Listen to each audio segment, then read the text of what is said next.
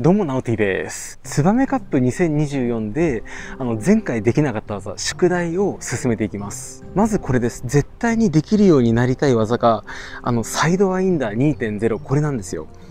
最初にコマを投げ出した後に、利き手の腕に紐を巻いて、紐が巻かれた状態の腕でコマをキャッチ。で、その紐を伝っていくっていう技ですね。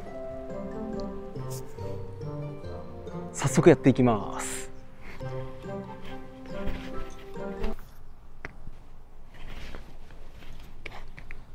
ちょっと何も始まらないので、もうちょっと詳しく動画を見ていきますね。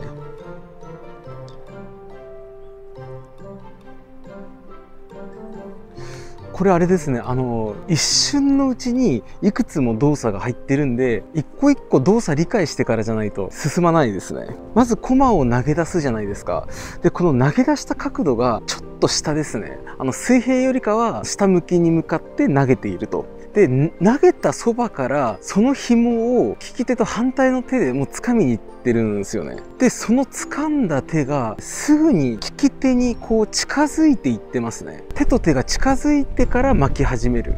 で、その巻いた手に駒が乗るっていう流れなんですけど、えっと、普通のツバメ返しって手で取りに行くじゃないですか。手を動かして手のひらの位置を調整してでクッション効かせて取るっていうような流れがあると思うんですけどこのサイドワインダーに関してはものすごく短い時間であの手に紐を巻くっていう制限がかかってるんで手の自由がほぼ効かないんですよね。ですのでこの状態で自分が動いて駒を取りに行くっていうそういう感じですね。こうではなくてこういう感じに見えますね。お？結構ぽくないですか？動画の技だと2周巻く必要があるんですけど、えっと、今の私1周ですね。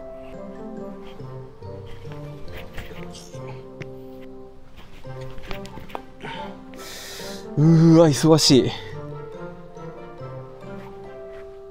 これやるんすよね？一瞬で。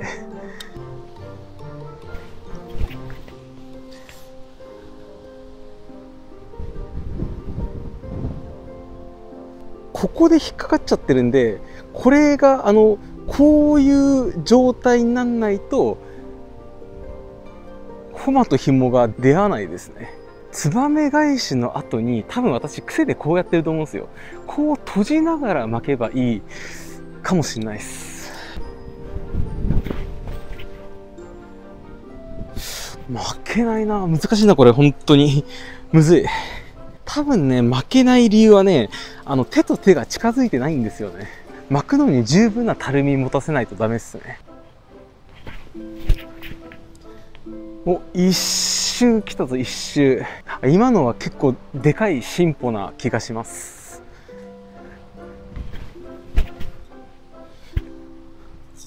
あれ？できた？ちょっと自覚がないので続けますね。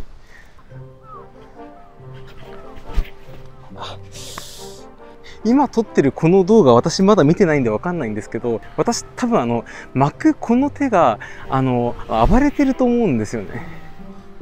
動画のお手本だと、巻く手が体の近くで、あの、下の方で綺麗に収まってるっていう感じがあるんで、ちょっとこれを目指していますね。はいはいはいはいはい。くそ。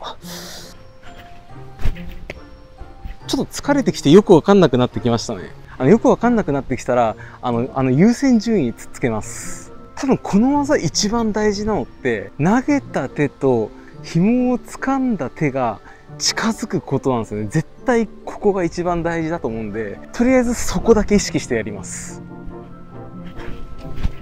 はいはいはいはいはいはい。近づければ一周はいける。多分ね、あの、手で取りに行ってるんですよ。あの、お手本の動画だと、巻いたこの手が動いてないんですけれども、私の場合手で取りに行っちゃってるんですよね。でもそれちょっと難しいな。ちょっとずつ変えていくしかないですね。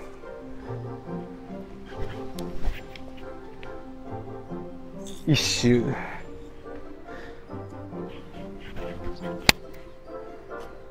ツバメ返しのノックバックの挙動をできるだけ小さく、あの、インパクトだけ強くっていうのを意識したら、利き手のブレが少し減るんかな。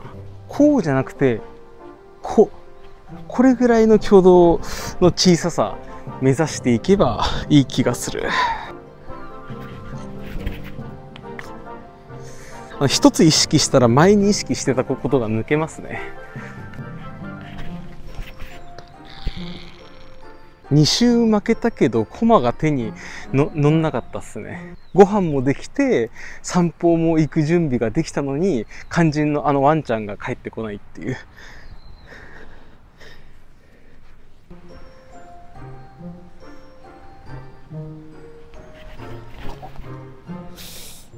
惜しい。すげえいいとこまで来てますよ、これ。最重要事項はいつだって、あの、手と手を近づけるですね。これだ。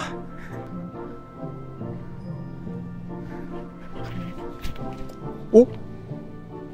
お？できましたね、今ので。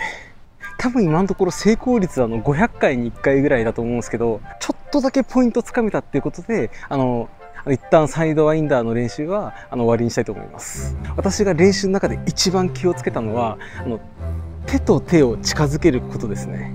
どんなにうまくいかなくても、どんなに疲れていても、手と手を近づけることだけあの意識してやれば成功に近づいていけるってことが分かりました。ご覧いただきありがとうございました。ナオティでした。